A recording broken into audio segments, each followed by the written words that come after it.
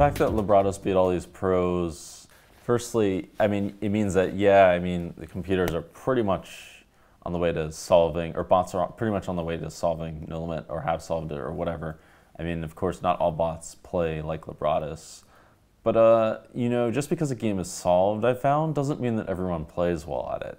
I, and it's not as though, like, as soon as something comes out, like, everyone has started, like, uh, has started using it uh, or learned immediately from it. That is not at all the case, as it turns out. Um, for example, Limit Hold'em, which is a game that I thought would have been dead ages ago because it was solved like many years ago. Uh, far from dead, as I learned when I was playing Limit Hold'em PokerStars.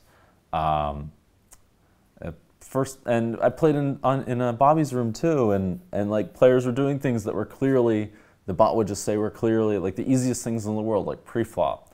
Uh, they were just doing things like totally wrong and over and over. Uh, whereas if they just studied the, the bot, they would not know this for very big stakes, actually. So even though solutions come out, people are gonna not play perfect. So that's very much the case.